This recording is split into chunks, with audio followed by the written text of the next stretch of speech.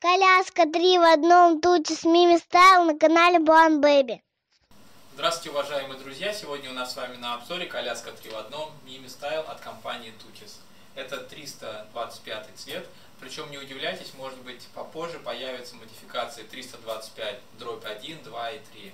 А, отличие будет заключаться лишь в том, что здесь у нас с вами использована эко-кожа, через дробь может быть такой же коричневый цвет, но без эко-кожи, а с дробью 2 может быть здесь какой-то рисунок. Итак, давайте переходить к обзору, и прежде чем к нему перейдем, также напоминаю, что ссылку на магазин, где можно купить эту коляску, вы найдете внизу в описании. И досмотреть это видео до конца, для вас будет приятный сюрприз. Про каждый блок мы поговорим с вами отдельно. Начнем с люльки, потом поговорим о прогулочном блоке, потом сделаем обзор рамы, а потом на раму установим автокресло. И начнем мы, конечно, обзор с люльки и будем спускаться сверху вниз. Ну что, начинаем э, с люльки. Итак, люлька у нас имеет такой яйцевидный классический, яйцевидную классическую форму. Она достаточно стандартная для польских колясок. Имеется достаточно обширный глубокий капюшон и яйцевидной формы люлька. Вот. Если говорить про материалы, то здесь используются меланжевые ткани. Расцветок очень много. Вот. Э, чем меланжевая ткань отличается от другой? Здесь просто в самой ткани, в структуре, есть крапление белой нити, поэтому она называется меланжевой. Кроме этого имеются вставки языка кожи, сами ручки языка кожи и плюс сами есть элементы с эко-кожей на самой, а, на самой люльке. Плюс вот эти логотипы чаще всего тоже сделаны из эко-кожи. Итак, давайте теперь подходим а, к самому обзору люльки. Имеется ветрозащитный клапан. Единственное, я не знаю, насколько он ветрозащитный, потому что я считаю, что все-таки, если сильный ветер, то он найдет какую-то щель все равно проникнет внутрь люльки окей, от какого-то ветра он защитит, но больше, я думаю, это все-таки защита, допустим, от прямых солнечных лучей, чтобы в глаза ребенку не било солнце, если вы идете и солнце у вас за спиной, допустим. В любом случае, клапан это дело удобное.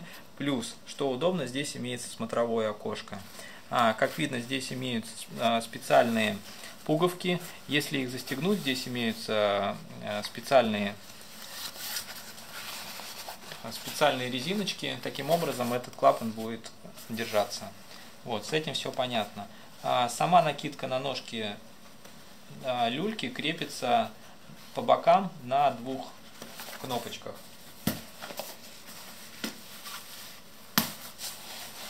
Вот таким образом снимается. Дальше поговорим, наверное, о самой любимой детали у покупателей. Это капюшон. А чем хорош этот капюшон? Он достаточно объемный, он имеет дополнительный козырек. Но что еще очень любят спрашивать, это чтобы козырек был съемный для стирки.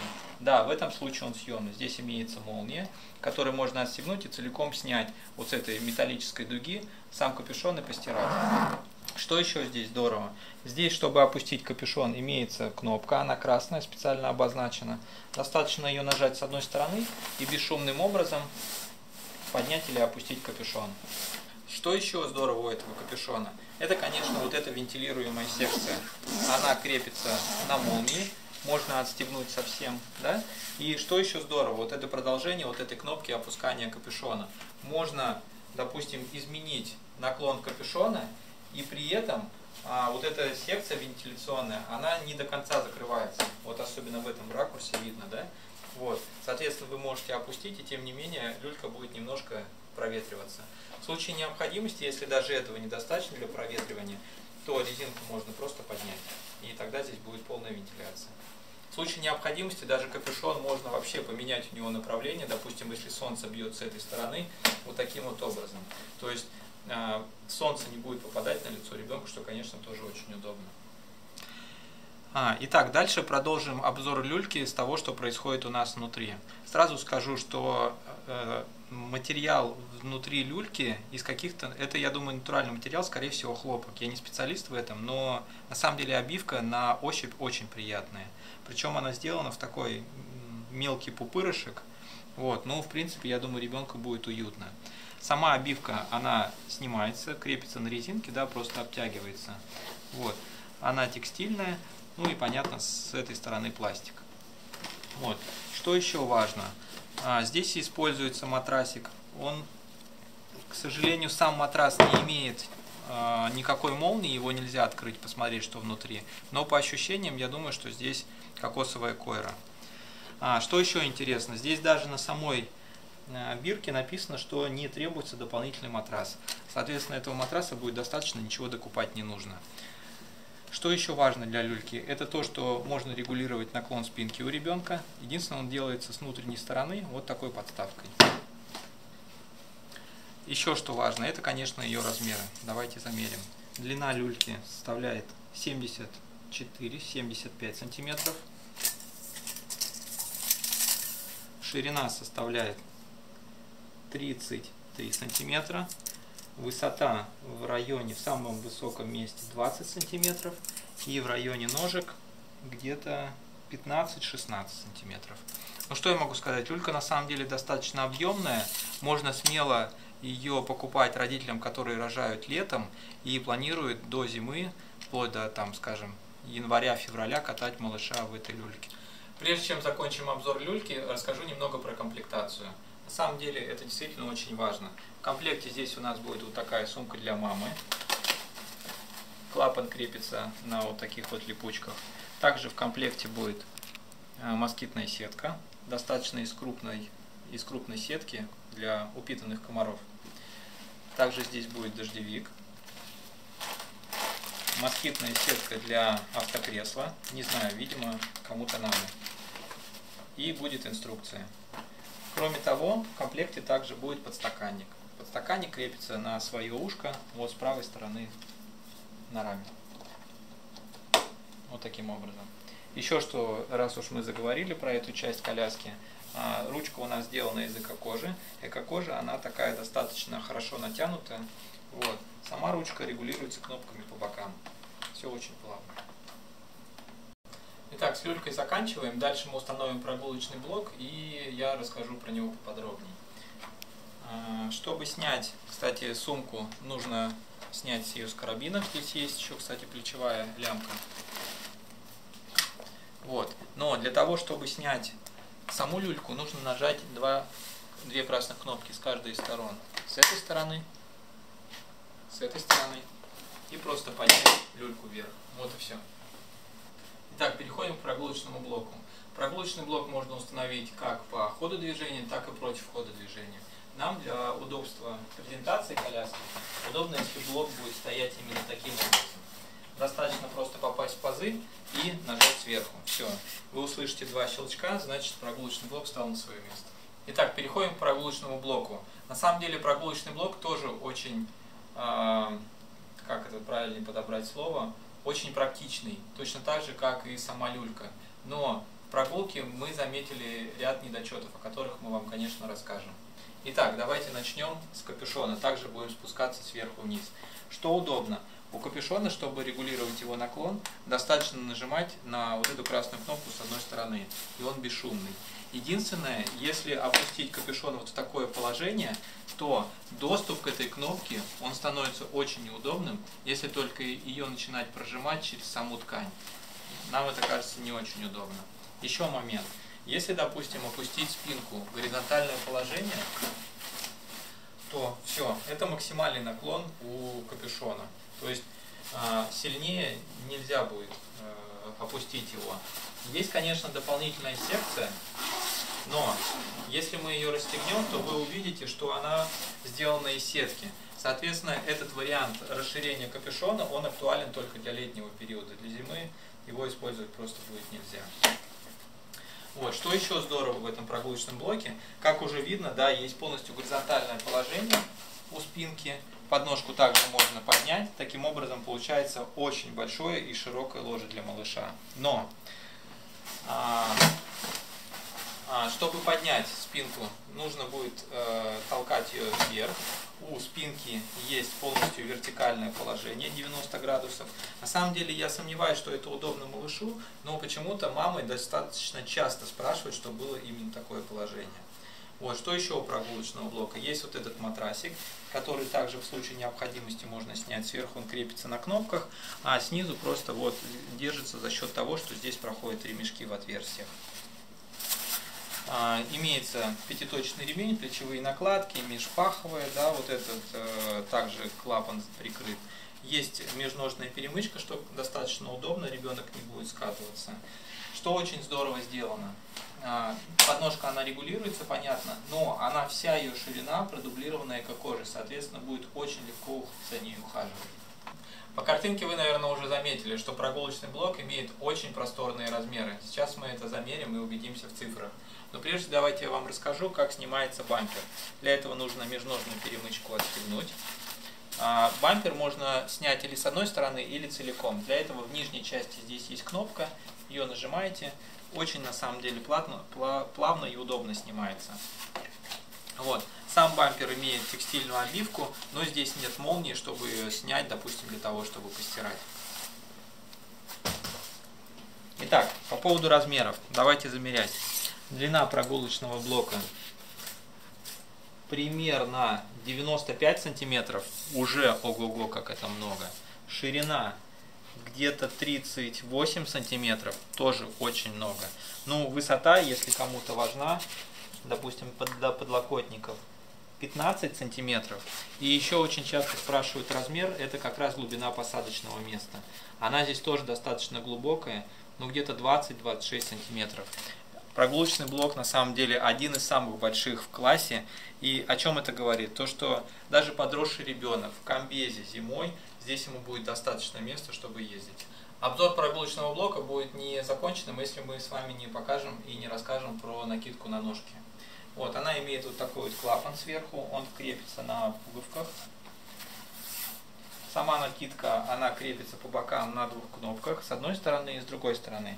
Мне кажется, этого недостаточно. Такая массивная накидка, ну, мне кажется, нужно хотя бы по две кнопки, потому что если ребенок будет беспокойный, бить ножками по ней, он просто может ее сорвать. Но что смущает на самом деле больше в этом клапане? Здесь имеются пуговки, и логичнее сделать здесь две дополнительные петельки, что в случае ветра или непогоды, чтобы можно было зафиксировать этот клапан вот в таком поднятом виде. Но здесь нет такой возможности, поэтому, я думаю, маме придется при колхозе здесь какие-то петельки, чтобы это можно было закрепить. В противном случае все это дело будет просто ложиться на лицо малыша. Вот таким вот образом можно снять и все. Сама накидка на самом деле очень глубокая, очень широкая, очень хорошо прилегает, закрывает по бокам саму, сами ножки коляски. Кроме того, она утепленная, что, конечно, очень здорово, ее будет использовать в зимний период.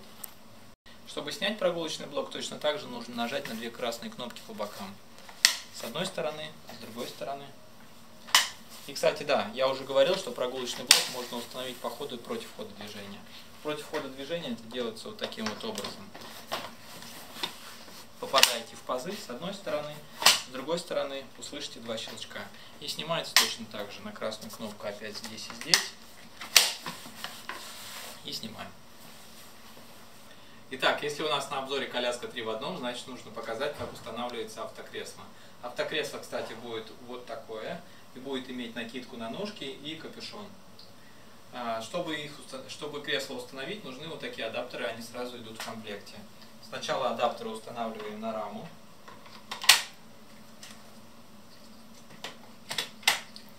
Берем кресло. И тут самое главное попасть в пазы. С одной стороны и с другой стороны. Вот, в пазы попали, теперь просто давите сверху, все, кресло стало на свое место. А, накидка на ножки крепится на двух кнопках. Все, вот таким вот образом можно снять. И капюшон точно так же крепится на тех же самых кнопках, просто она двухсторонняя. И вот таким вот образом снимается. Если говорить о самом кресле, здесь имеется вкладыш. Единственное, э, вкладыш не очень толстый, может быть вот здесь вот недостаточно будет э, поддержки для головы ребенка, для новорожденного. Но что здорово, здесь уже будет иметься, иметься подушка для новорожденного. Потом, когда ребенок подрастет, просто ее достанете, и оно станет поглубже. А, сам матрасик потом, когда ребенок еще подрастет, можно будет тоже, точно так же снять. Очень удобно пользоваться ремнем. Здесь имеется кнопка, нажимая которую да, сразу высвобождаете ремни. А, после чего, а, допустим, необходимо, если ослабить ремни, здесь прям подписана кнопка пресс, нажимаете и достаете лямки. После того, как застегнули ремешок, просто тянете вот эту лямку и все, и затягиваете малыша. А, вот эту дугу для переноски точно так же можно будет опустить, если она не, нужна. Просто на, нажимайте на две красные кнопки по бокам. Вот таким вот образом. А, для того, чтобы снять кресло. А, здесь сбоку есть вот такой вот механизм. Его тянете и все. Этот механизм позволяет высвободить вот из адаптера само кресло. Прежде чем снять автокресло, я расскажу, как оно крепится в автомобиле. Точно так же, как на раме, оно устанавливается против хода движения. То есть ребенок смотрит на багажник машины, а не на капот. Вот. А, ничего дополнительно докупать не нужно, это кресло можно зафиксировать в машине штатными ремнями автомобильными. Если помните, ремешок состоит из двух частей. А, одна часть проходит по животу, вторая часть плечевая. Вот эта часть, которая проходит по животу, вот отсюда, да, она проходится вот здесь, вот под этими черными фиксаторами.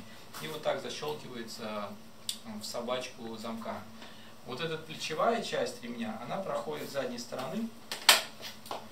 Вот здесь есть тоже соответствующая ниша, она, ремешок здесь продевается и, соответственно, точно так же э, защелкивается в замок. Вот таким вот образом. Как я уже говорил, чтобы снять кресло, достаточно потянуть с одной и с другой стороны, и все, и кресло потянуть вверх. Если назвать эту коляску одним словом, то на самом деле у меня всплывает э, на ум такое слово, как практичность. На самом деле это касается и самой рамы. Почему я считаю ее практичной? Потому что это уже проверенная конструкция. Здесь имеется открытый тип амортизаторов, здесь имеется качелька тормоз, Э, тормоза открытого типа, закрытая корзина для покупок, плюс здесь еще дублируется амортизация на самой раме. Вот. Если говорить опять спускаться сверху вниз, что здесь есть? Здесь есть ручка, которая регулируется кнопками по бокам, как я уже говорил. Здесь имеются кнопки замка для сложения. Как складывается коляска, я расскажу чуть позже. Здесь имеется навеска элементы крепления блоков корзина. Корзина имеет молнию, и она закрывается. Корзина тоже очень вместительная. Чтобы зафиксировать колеса, чтобы они не крутились, достаточно вот эту шайбочку покрутить. Чтобы снять колесо, нажимаете кнопку сверху. Тогда колесо просто выпрыгнет вниз. Кроме того, на самом колесе есть еще дополнительная амортизация. Соответственно, мелкие неровности точно так же будут отрабатываться. Заднее колесо точно так же можно снять. Здесь есть кнопка красная, на которую нажимаете и снимаете колесо. Если говорить о самих еще колесах, то нужно сказать о том, что они на самом деле силиконовые, они надувные. За счет этого они будут легче, чем надувные, и они, конечно, не будут прокалываться, что на самом деле очень практично. Если говорить еще о амортизации, то она достаточно мягкая. Смотрите, какой большой ход. Чтобы сложить раму, передние колеса должны быть разблокированы, иначе они будут мешать э, сложению рамы, так как колеса будут уходить под корзину. Сверху нажимаете две кнопки, тянете блоки на себя и опускаете. Вот, как я уже говорил, колеса должны быть разблокированы, чтобы можно было их повернуть. И они вот таким образом, таким образом рама складывается. С этой стороны есть ушко, фиксатор. Таким образом коляска зафиксируется, ее можно будет переносить. Если это недостаточно компактно, как я уже говорил, то можно будет просто отстегнуть колесо и куда-то сюда положить. Так рама будет еще компактнее.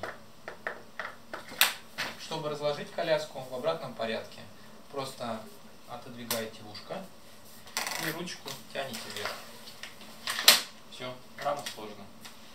Итак, давайте немножко подытожим, что мы получаем, а, покупая эту коляску. На самом деле, как э, я уже часто говорю, коляску нужно выбирать большего прогулочного блока, потому что вы его будете использовать дольше.